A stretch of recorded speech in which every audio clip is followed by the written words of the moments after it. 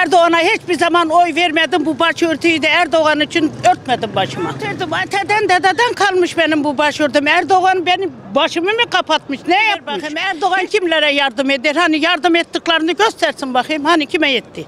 Heh. Keşke de olmasaymış. Başımızdan geçseydi bir başkası gelsin. Ölecekler hele başladırlar. Siller iyi olur. Bu seçimlerde inşallah düzelir ama o başımızdan gitmediği sürece hiç düzelemeyecek. Alım gücü ne durumda? Problem var mı? Şimdi vatanın problem gücü vatana sormak lazım, millete sormak lazım. Her şeyden önce o çok önemlidir. Şimdi açlıkta olan insanlar kendine eve evine ekmek götürmeyen insanlara desen işte yukarıda Allah, aşağıda Tayyip Erdoğan. Ama ekonomiye bakarsan ekonomi çökmüş. Nasıl çökmüş? Çünkü Türkiye'nin enflasyonuna bakarsan yüzde yüz artışı. Bir kiracı düşünebiliyor musun? 8-10 milyon. Bugün Esenyurt gibi bir var uçta bir kiranın evin kirası en düşüğü 8 milyar. Askeri ücret kaç para? 7 milyar. Hesap etsen onun sigara parasını çıkma. Ama o diyor ki şükürler olsun. Ya Rabbim diyor bana yeterlidir. Ben zaten kazanıyorum evime ekmek götürmüyorum. Ama en alttaki sınıf eğitimsizlikten kaynaklanan sınıftır. Şimdi eğitim olmadı mı insanların bilgi birikimi olmaz. Dünya çağa bakmaz. Dünya nasıl geçindiğini bilmez. Çünkü hepsi ekonomiden şey eğitimden geçiyor. Şimdi o eğitimsiz insan eğitimsiz insanların genel anlamda çöp toplayan insanlara ona sorsan ülke diyor süper. Ama üst düzeydeki bir tabakaya baksan dünya bakış görüşü farklı olan kendi çerçeve sadece çerçevesinde dünya bakmayan farklı gözle dünya bakan insanlar desen Türkiye'nin durumu ortada. Bittik yani şimdi bunu nasıl nasıl dile getirebiliyor muyuz? Getiremeyiz. Böyle bir şansımız yok. Şimdi İslamcı hareket onun içine içine bakarsa İslam'ı boşatıp sada İslam adı altında bu ülkeyi yöneten insanlar cahil bırakan insanlardır. Şimdi Orta Doğu'ya bakıyorsun. İslam olan ülkelerde hepsi fakir. Perişan. Avrupa'ya bakarsan ya Allah Müslümanlara da Allah'ıdır, gavurun da Allah'ıdır.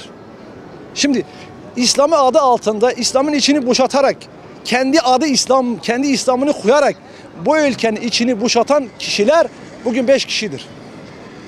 Şimdi din hepimizin dinidir. Kur'an hepimizin Kur'an'ıdır. Allah hepimizin Allah'ıdır. Gavura farklı bakmaz, Müslümana farklı bakmaz. Allah insanlara eşit bakar. Ama bizim Türkiye'deki İslam kesimine nasıl bakıyorsun?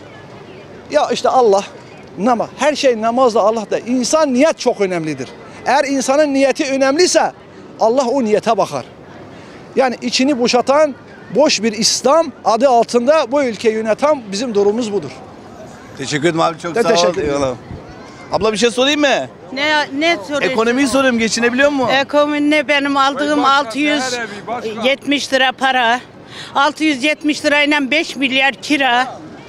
E ben ne yapayım? Ne nasıl geçim yapayım? Heh, söyle bir kilo domates bile alıp yemeyiz. Bir ekmeğe bile yetmiyor para. Ne olacak halımız? Neden bu hallerdeyiz abla peki? Neden oldu Erdoğan'ın yüzünden? Oy verdin mi Erdoğan'a? Erdoğan'a hiçbir zaman oy vermedim. Bu başörtüyü de Erdoğan için örtmedim başıma. Erdoğan'dan önce örtüyor muydun başörtü? Örtürdüm. Ateden dededen kalmış benim bu başörtüm. Erdoğan benim başımı mı kapatmış? Ne yapmış? Hiçbir şey de yapmamış. Fakir fukarayı ezdi geçti. Allah sorsun bu milletin ayını ondan. Peki çoluk çocuğun geleceği ne olacak abla bu şartlar altında? Ç- çocuğum ne olacak? Her bir çocuğum biri gitmiş inşaatlarda çalışır. Çocuğu var üç tane. Biri taksicılık yapar bir gün çalışır beş gün çalışmıyor. Torunlarım aç evde. Getir parayı ver bakayım. Erdoğan kimlere yardım eder? Hani yardım ettiklerini göstersin bakayım. Hani kime yetti? Keşke de olmasaymış. Başımızdan geçseydi bir başkası gelsin. Ölecekler hele başladırlar. Hiç Allah'tan başka kimseden korkmuyorum. Haca gittim geldim. Allah kabul etsin. Amin. Allah herkese bu şeyi ben Araplarınkileri bir yaşında çocukları hacda biz 80 yaşımda zor 15 senede zor bir hacım çıktı gittim oğlum. Heh, daha ne diyeyim ben sana yavrum? Nasıl düzelecek abla peki bu cennet vatan? Heh? Nasıl düzelecek cennet vatanımız? vatan güzel ama insanlar Aha öldürdü Suriyeliler orada çocuğu öldürdüler tavuk gibi getirdi içimize koydu kapımızın önünde öldürdüler oğlan bıçakladı çocuk kavgasından bıçakladı öldürdü. Ha, neymiş iki kişiyi taşıdı burada herkes Suriyeli. Kim Türk kim Suriyeli? Gel niye insanları vatanından etti getirdi? Bizim benim 5 lira aldım el alt, 600 lira aldığımın 50'sini de keser onlara verir. He, neyle geçim yapacağız? Söyle oğlum ne diyeyim sana güzel oğlum.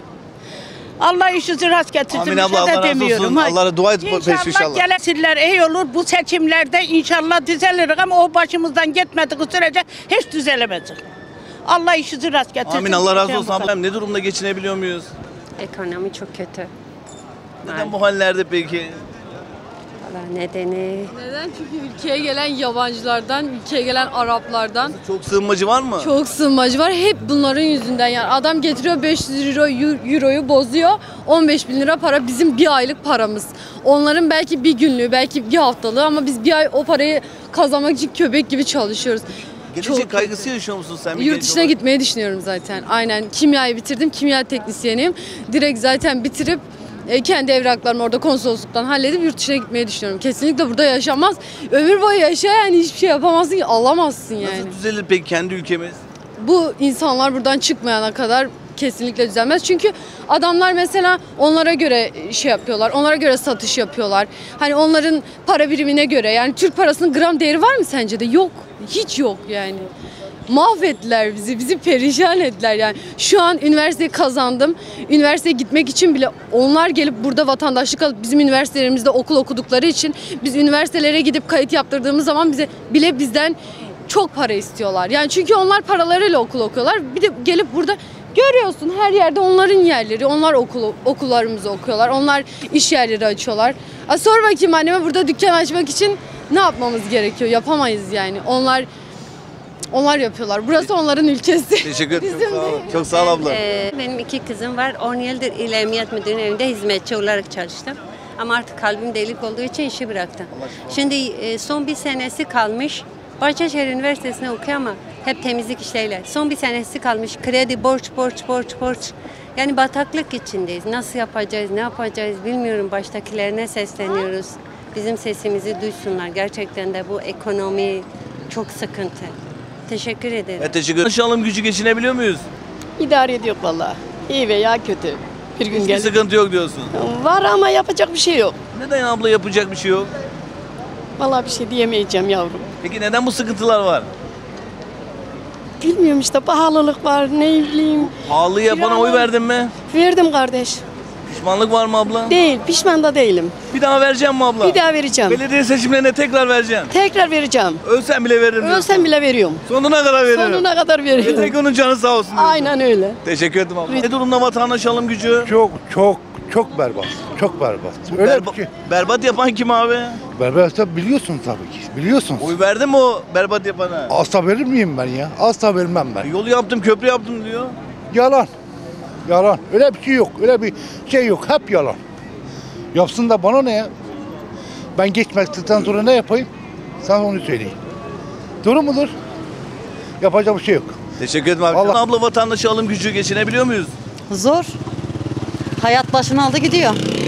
Aldıran kim başını? Yok. Oy verdin mi abla bu yukarıdakine? Allah yazdıysa bozsun. Vermem kesinlikle. Soruyorum abi ne Ekonomi durumda? ne, ne durumda? Ekonomi görüyorsun herkes açlıktan ölüyor yani. Herkes aç yani. Kiralar almış başına gitmiş. Bir markete gidiyorsan önceden 4 poşet doluyordun. Şu an iki tane bir şey zor alıyorsun. İçtiğimiz şu içtiğimiz bile 15 lira yani.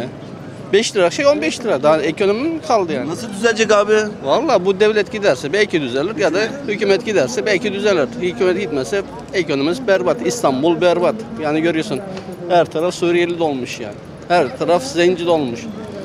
Her şey onlar geldikten sonra her şey fırladı. Hepimiz de biliyoruz yani açık. Kafe ailemizle oturamıyoruz yani. Oturdum mu cepten 500-600 milyon para gidiyor şu an. Asgari ücret 11 bin. 11 bin kaç olduğunu bile bilmiyoruz yani. 1400. He, onu bile bilmiyoruz yani. Çünkü doymuyoruz ki bilelim yani. Emekli maaşı alıyorum, emekliyim. Çalışıyorum, 16 bin lira maaş alıyorum. İki tane çocuk okutuyorum, yine içinemiyorum. Çünkü 10 bin lira kira veriyorum yani. Teşekkür ederim.